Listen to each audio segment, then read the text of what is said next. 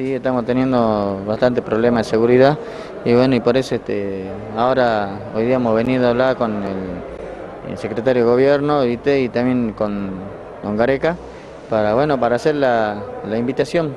¿ah? Y bueno, Están que... invitando a una reunión, se van a... sí.